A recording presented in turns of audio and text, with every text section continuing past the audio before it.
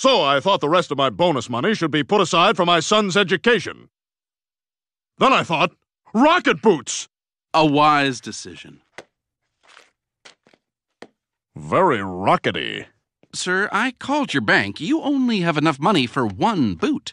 I don't understand. I have at least $5,000 left in that account. How did. Attention, palefaces. Welcome new addition to tribe. Mrs. Smith's Muffin Kiosk. Chief say, how delicious. Francine, this is unacceptable! ah! Ah! Ah! Francine, what the hell is going on? Stan for your information. My muffins are selling faster than hotcakes.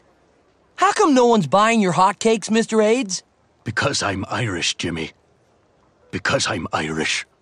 Francine, this is crazy. We've got to shut this thing down before you lose all my money. You want your money, you unsupportive jerk? Fine. Here's your $5,000 back. You made all this in one day? That's right, I did. Through hard work and giving people incorrect change. Can I help you?